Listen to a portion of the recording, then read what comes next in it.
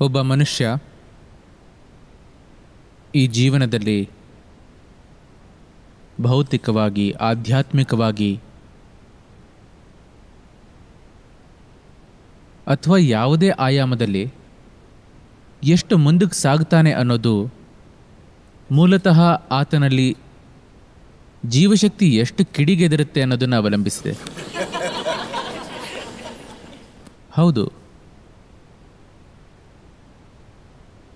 ಜೀವಶಕ್ತಿ ತುಳುಕ್ತಾ ಇರೋ ತುಂಬ ಜನ ಇದ್ದಾರೆ. ಆದರೆ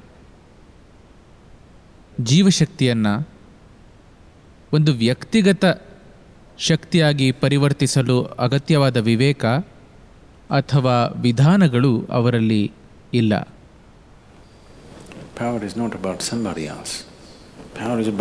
ಶಕ್ತಿ ಬೇರೆಯವರ ಬಗ್ಗೆ ಅಲ್ಲ ಅದು ನಿಮ್ಮ ಬಗ್ಗೆ. ನಿಮ್ಮಲ್ಲಿ ಶಕ್ತಿಯ ಸಂಭಾವ್ಯತೆ ಎಷ್ಟಿದೆ ಅನ್ನೋದು, ನಿಮ್ಮ ಬದುಕಿನ ತೀವ್ರತೆ ಮತ್ತು ಗಹನತೆಯನ್ನು ಮತ್ತು ಬದುಕಲ್ಲಿ ಎಷ್ಟು ಪರಿಣಾಮಕಾರಿಯಾಗಿರ್ತೀರಾ ಅನ್ನೋದನ್ನು ನಿರ್ಧರಿಸುತ್ತೆ. ನಿಮ್ಮ ಕಾರ್ಯಕ್ಷೇತ್ರ ಏನೇ ಆಗಿದ್ರೂ,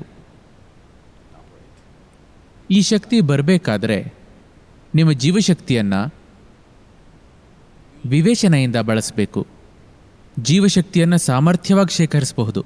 ಅಗತ್ಯವಾದ ವಿವೇಕ ಮತ್ತು ವಿವಿಧ ಸಾಧನಗಳಿಂದ. ಇಲ್ಲ ಅಂದರೆ ಜೀವಶಕ್ತಿ ಸುಮ್ಮನೆ ವ್ಯಯವಾಗ್ತಾ ಇರುತ್ತೆ. ಕೊನೆಯಿಲ್ಲದ ಯೋಚನೆಗಳು ಕೊನೆಯಿಲ್ಲದ ಪ್ರತಿಕ್ರಿಯೆಗಳು ಮತ್ತು ಆತಂಕಗಳಲ್ಲಿ. ನಿಮ್ಮ ದೈನಂದಿನದ ಬದುಕನ್ನು ಗಮನಿಸಿ. ಒಂದು ಸಣ್ಣ ವಿಷಯ. ಉದಾಹರಣೆಗೆ, ನೀವೊಂದು ದಿನದಲ್ಲಿ ಎಷ್ಟು ಮಾತುಗಳನ್ನು ಆಡ್ತೀರಾ? ಲೆಕ್ಕ ಮಾಡಿಲ್ವಾ? ಓ, ಮಾಡಬೇಕು. ಮಾಡಬೇಕು. ನಾಳೆ ಒಂದು ಅಂದಾಜು ಮಾಡಿ.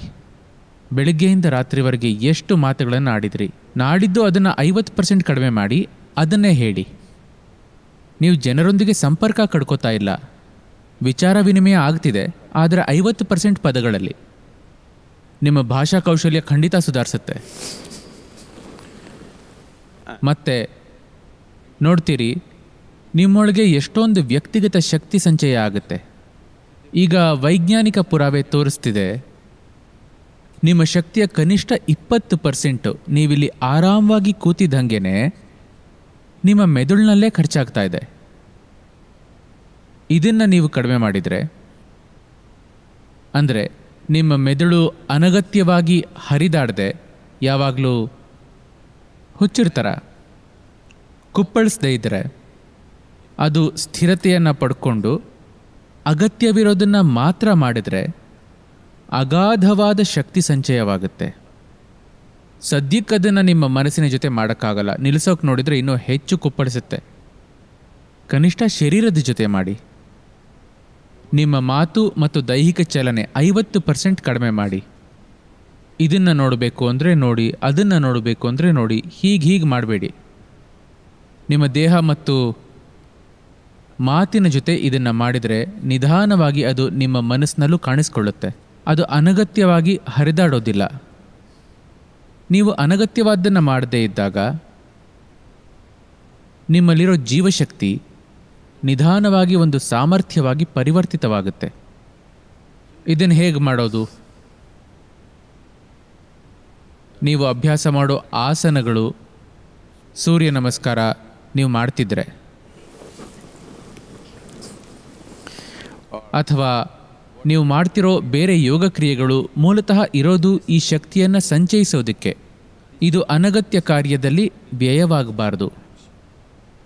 ಸದ್ಯಕ್ಕೆ ನಿಮ್ಮ ಯೋಚನೆಗಳನ್ನು ಕಡಿಮೆ ಮಾಡೋದಕ್ಕಾಗಲ್ಲ. ಅದನ್ನು ಮಾಡಬಹುದು ನಿಮ್ಮಲ್ಲೊಂದು ಅನುರಣನವನ್ನು ತಂದರೆ. ಒಂದು ಸರಳವಾದ ಮಂತ್ರ. ಮನಸ್ಸು ಹುಚ್ಚುಚ್ಚಾಗಾಡ್ತಿದ್ರೆ ಸ್ವಲ್ಪ ಹೊತ್ತು ಮಂತ್ರ ಜಪ ಮಾಡಿ. ಒಂದು ಅನುರಣನವನ್ನು ಉಂಟು ಮಾಡಿ ನೀವು ನೋಡ್ತೀರಿ, ಅದು ನಿಮ್ಮಲ್ಲಿ ಅಗಾಧವಾದ ಶಕ್ತಿಯನ್ನು ಉಂಟು ಮಾಡುತ್ತೆ ನಿಮ್ಮೊಳಗೆ ಈ ಶಕ್ತಿ ಇಲ್ಲದೆ ನೀವು ಜೀವನದ ಆಯಾಮಗಳನ್ನು ಮೀರಿ ಹೋಗೋಲ್ಲ. ಸದ್ಯದಲ್ಲಿ ಹೆಚ್ಚಿನ ಜನರಿಗೆ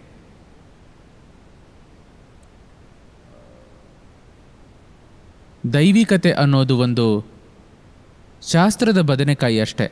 ಅದು ಅವ್ರಿಗೊಂದು ಜೀವಂತ ಅನುಭವ ಆಗಿಲ್ಲ. ಅದೊಂದು ಜೀವಂತ ಅನುಭವ ಆಗಬೇಕಾದರೆ. ಸೃಷ್ಟಿಕರ್ತನಂತಹ ಶಕ್ತಿಶಾಲಿ ವಿಷಯ ನಿಮ್ಮ ಅನುಭವಕ್ಕೆ ಬರಬೇಕಾದ್ರೆ ನಿಮ್ಮಲ್ಲೊಂದು ತರಹದ ಶಕ್ತಿ ಇರಬೇಕು. ಇದನ್ನು ಅರ್ಥ ಮಾಡ್ಕೋಬೇಕು, ಶಕ್ತಿ ಅನ್ನೋದು ಪ್ರಾಬಲ್ಯತೆ ಮೆರೆಯೋ ಬಗ್ಗೆ ಅಲ್ಲ. ಶಕ್ತಿ ಅಂದರೆ ಪರಿಣಾಮಕಾರಿಯಾಗೋದು. ಶಕ್ತಿ ಅಂದರೆ ಸಶಕ್ತರಾಗೋದು. ನಿಮ್ಮಲ್ಲಿ ಈ ಶಕ್ತಿಯನ್ನು ನೀವು ಹೊಂದಿದ್ದಾಗ ಮಾತ್ರ ನೀವು ಜೀವನದಲ್ಲಿ ಸಮಾಜದಲ್ಲಿ ನೀವು ಎಲ್ಲಿದ್ದರೂ ಆರ್ಥಿಕವಾಗಿ ನೀವು ಎಲ್ಲಿದ್ದರೂ ಪ್ರಾಪಂಚಿಕವಾಗಿ ಎಲ್ಲಿದ್ದರೂ ರಾಜನ ಥರ ನಡೀತೀರಾ? ಯಾಕೆ ಅಂದರೆ